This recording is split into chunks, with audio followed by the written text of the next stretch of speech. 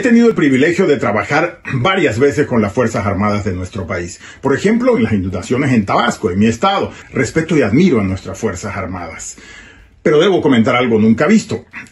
Detienen a un general ex secretario de la Defensa mexicano en Estados Unidos. Luego lo liberan se desisten los fiscales que lo señalaban diciendo que sí tienen evidencia de culpabilidad, pero por sensibilidad en las relaciones de Estados Unidos lo sueltan. El presidente Obrador primero se dedicó a decir que era la prueba de la corrupción de toda la vida anterior y que todos los que hubieran trabajado con él iban a ser separados del gobierno.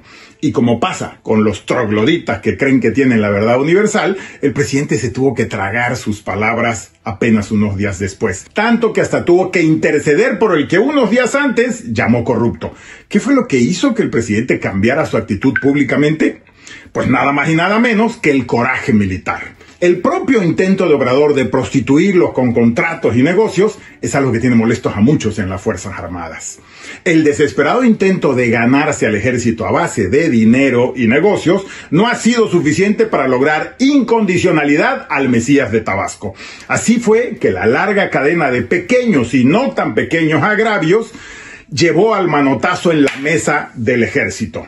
La fragilidad de un gobierno caótico y sin pies ni cabezas como el de Obrador no podría resistir una confrontación con las Fuerzas Armadas. La indignación que se estaba viviendo por el arresto del general Cienfuegos era demasiado ofensa para los militares. Obrador tuvo que desdecirse y argumentar el cuento de la soberanía para buscar congraciarse con el ejército. Hay una sombra de duda ¿Quién que tenga dos dedos de frente va a pensar que este gobierno federal va a investigarlo y enjuiciarlo?